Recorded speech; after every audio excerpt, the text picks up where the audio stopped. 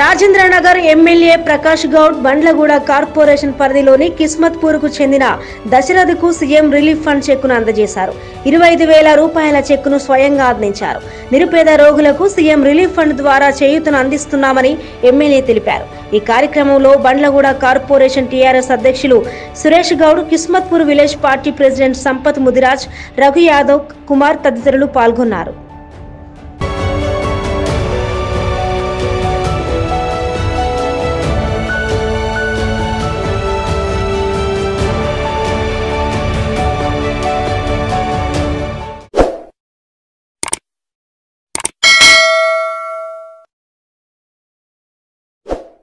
Please watch share and subscribe BC news like చేయండి share చేయండి గంట కొట్టడం మర్చిపోకండి.